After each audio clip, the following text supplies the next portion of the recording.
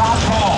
We race all over the country in these things. Now, it is all about a tribute to two of the greatest in the sport of drag racing. One who was just lost not even months ago would be Grumpy Jenkins on the right side.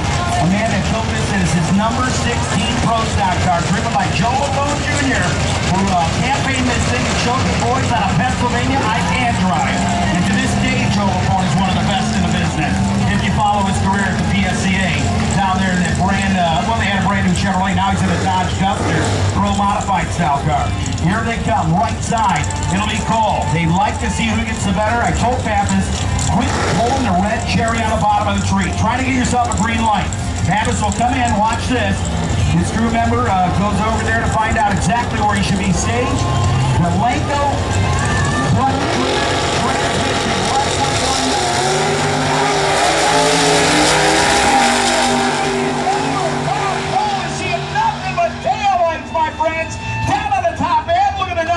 62, 886.